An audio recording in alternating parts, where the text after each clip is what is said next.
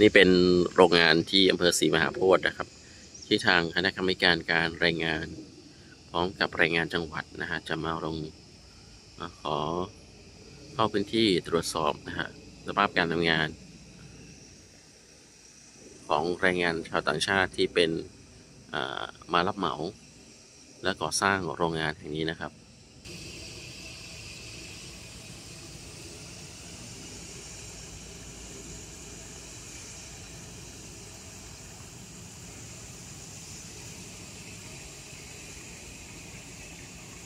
เขาเขาเขาไม่ได้ระบุว่าว่าใหญ่แต่ว่าเขาเข้ามาเขาเข้ามาตรวจสอบอ๋อเขาเขาเข้ามาถึงเขาเขามามาใช่แล้วไอ้เนี่ยที่ผ่านมาเนี่ยไอ้ทีมงานไอ้คนที่มาอ้าง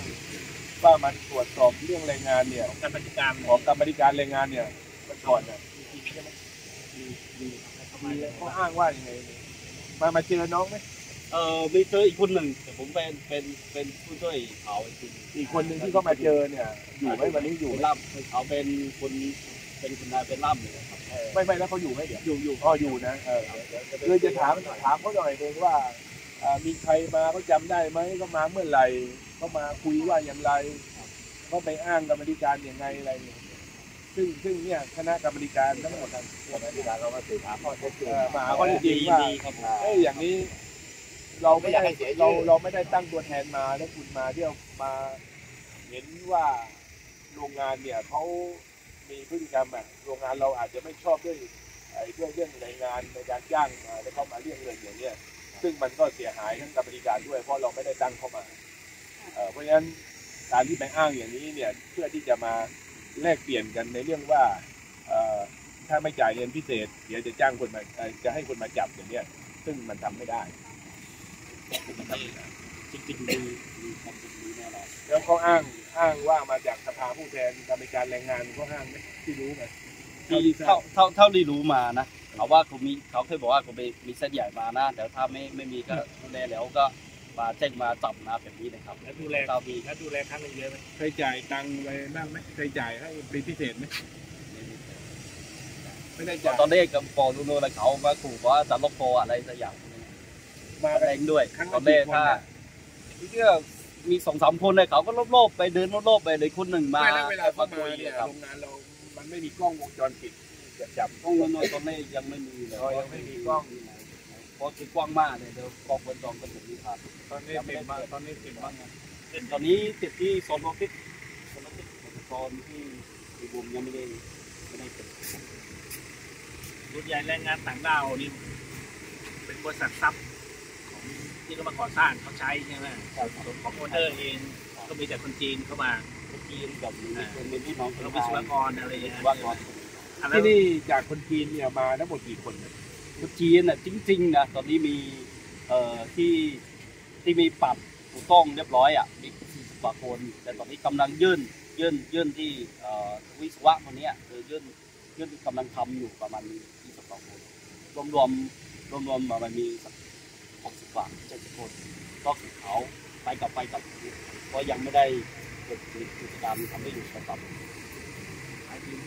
เราทำนอนดีเข้ามาถูกต้องเลยอะมาทำเวิร์กแล้วด้านเทคนิคด้านด้านเทคเทคนิคเชียนด้านวิศวกรคุมงานเนี่ย มาจากประเทศจีนโดยตรงเลยจะในเรื่อัองนนี้ของวิศวกรน่ะก่อสร้างนะก่อสร้างเป็นเป็นไทย คนไทยแต่ว่าในเรื่องของการเดินเครื่องการผลิตเนี่ย ใช่ อันนี้ของจีนเขาทั้งทั้งชุดมาเลยที่มาประกอบและติดตั้งเพราะคือเขามีตรงลงมาคืออย่างนี้จีนเนี่ยเวลามาเขามาเป็น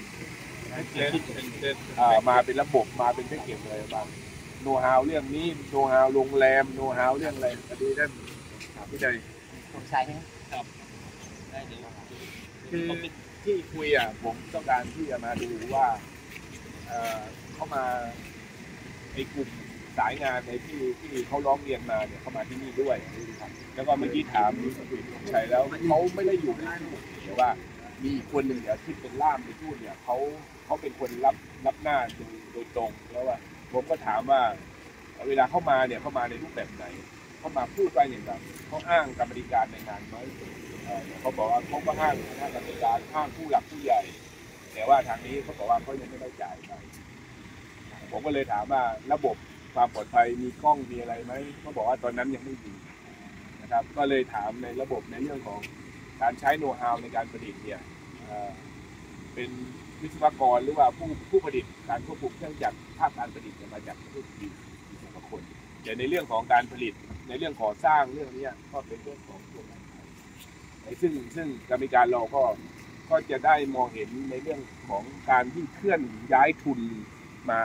ใช้พื้นที่ในเขตนิคมอุตสาหกรรมการลงทุนของของจีนของอินเดียของรัสเซียเนี่ยส่วนใหญ่จะมาเป็นรูปแบบของแพ็กเกจในเรื่องของระบบทั้งหมด มาทั้งคนมาทั้งโน้ตฮาวมาทั้งอะไรพวกเนี้ยเพราะฉะนั้นเรื่องนี้มันก็เป็นอีกเรื่องหนึ่งนะแต่ว่า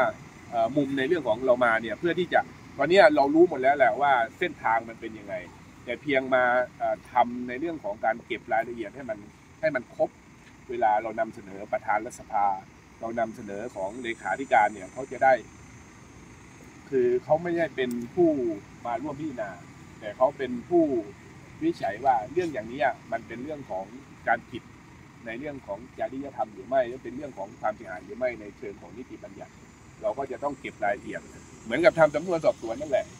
ครับเพื่อที่จะให้ให้ให้ให้ผู้บังคับบัญชาเขาจะได้ดูได้รู้ว่าพบก็ใช้เวลาไม่ไม่มากพอดีผมมีบ่ายผมนัดปปชก็เลยมาที่นี่นิดนึงแล้วก็ไปที่โน่นก็ไปฟังประเด็นที่เราคุยเห็นเห็นบอกว่าต้องนั่งรถไปใช่ไหมถ้าไปดึงรถพอดีหรือเดินไปได้ไหม เดินไม่ได้แต่ไปไกลไกลไกลนิดนึงโอเคไปหกสิบไร่อะหกสิบไร่แล้วประชุมมากครับเดี๋ยวเพื่อชี้แจงรายละเอียดในเรื่องที่มาพูดดีนะอะเดี๋ยวเข้าไปข้างในป่ะ